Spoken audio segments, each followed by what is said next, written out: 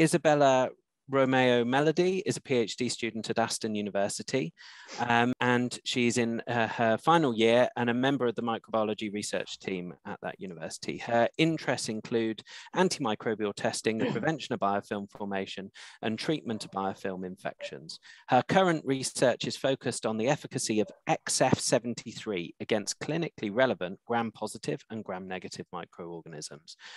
Bella, over to you. Thank you. Uh, as you know, my name is Isabella, and this is an area of my research looking at the efficacy of XF73 against gram-positive microorganisms. So to start off with, uh, a brief introduction to the issue that we're currently trying to tackle, and I want to focus on healthcare associated infections. These are infections that a patient did not previously have before admission to the hospital and what they pick up while they are currently in the stay. While it only affects roughly about 6% of hospitalized patients, you can see that this actually leads to the NHS and increased pressure on them and costs roughly nearly 3 billion a year and almost 30,000 deaths.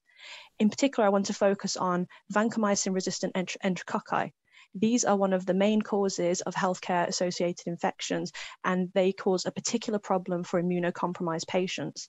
This is because current treatment strategies include a cocktail and a multitude of antimicrobials to treat the infections, but this leads to the damage of a healthy gut microbiota, which leads then to these immunocompromised patients to have further difficulties along the way.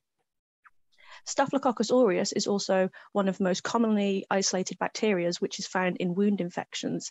These can be ulcers on a patient from being prolonged uh, stay in beds or following uh, following surgeries. So these could be the infection sites where the patient has been cut open.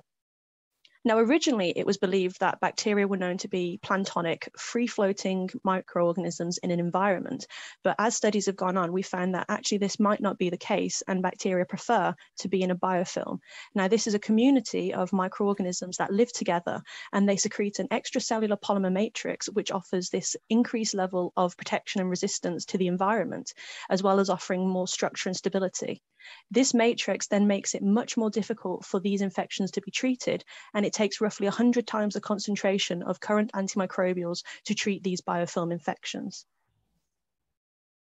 In my work, I currently am funded by Destiny Pharma and I work with XF73, which is the leading compound of the XF series, currently in clinical trials in both the UK and the USA.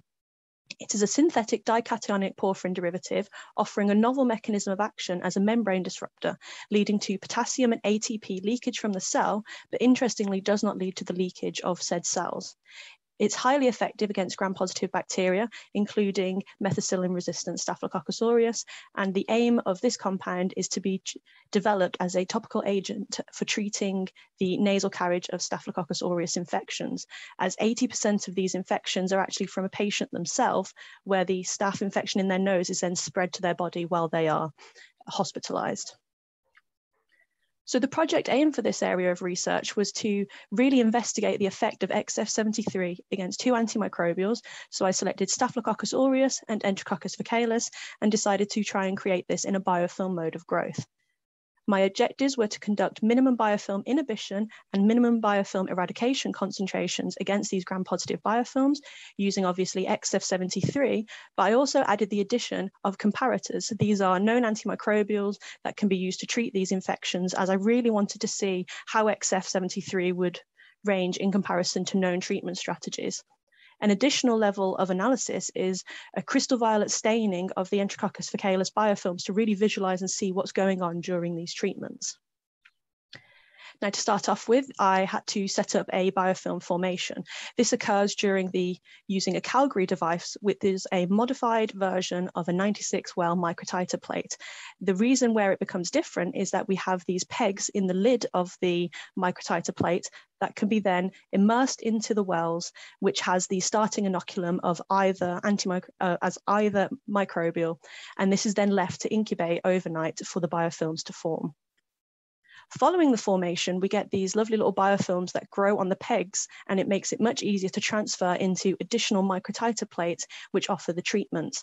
Now, my treatments were the XF73, gentamicin, mupirocin, and rifampicin, and I ran a concentration range in order to really generate what the MBIC and the MBEC was from 0.125 to 512 micrograms per mil. These were immersed in the environment and then left for a further 24 hours. Following the biofilm treatment, these treated biofilms were then set up for the analysis part of the study.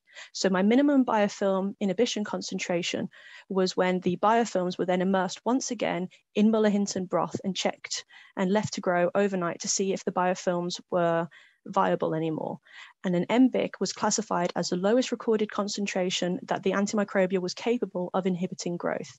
Now, inhibition of growth was then further classified as any of the wells that were clear and weren't cloudy, so you could determine that there was no growth present although this is unable to determine whether it's inhibited, inhibited or eradicated. So an additional study was taking these clear wells that we showed no growth so far and plating them up into Mueller-Hinton agar to check and see what if it was able to grow or not once removed from the environment.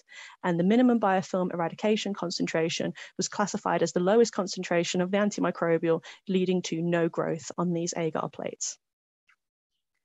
So here's a collection of my results. Uh, I had to add a DMSO control as mupirocin and rifampicin were grown up in DMSO. So I wanted to make sure that the DMSO itself was not affecting the results generated. And as you can see here, XF73 was by far the most effective antimicrobial in eradicating these biofilms. From the comparators, gentamicin was then the only comparator capable of eradicating both my gram-positive microorganisms, but at concentrations at concentrations that were higher than the XF73.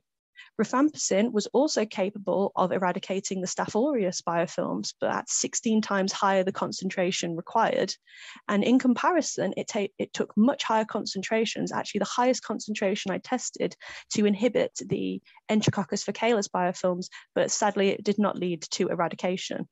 And finally, we see mupirocin, where even the highest concentration tested was neither able to inhibit or eradicate the biofilm growth. I have some nice little images here, which is the crystal violet staining of the biofilms. So following the treatment of the biofilms, before, uh, instead of setting them up in broth to do the MBICs or MBECs, I immersed them in crystal violet. Now the crystal violet is capable of staining both the extracellular polymer matrix, as well as the microorganisms themselves.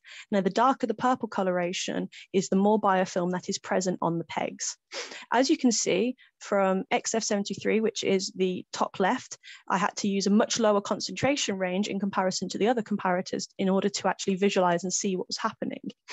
But what I found, which was quite interesting, is that this is a immediate effect of the antimicrobial treatment, which is usually not noticed when you do standard and traditional MBIC and MBECs. So what we're seeing here is actually all of the antimicrobials were capable of decreasing the biofilm load physically on the pegs, but that is not then showed when we do the MBIC and MBIC testing, as for the comparators, eh, in particular mupirocin, it was not enough to actually inhibit the growth overall. So to conclude, XF73, I decided was the most effective antimicrobial tested due to its low MBIC and MBEC values. XF73 therefore has the potential to be an effective antimicrobial treatment against the Enterococcus faecalis and the Staph aureus biofilm infections. This lead into then my future work where I'd like to test XF73 against a range of more gram-positive microorganisms and potentially older microorganisms in biofilm mode of growth to create a more realistic uh, infection system that we would see in a hospital environment. I'd like to thank my supervisors, Dr. Tony Worthington and Professor Pete Lambert, as well as my funders, Destiny Pharma, and last but not least, Aston University, in particular, uh, Lab 327. Uh, thank you for your time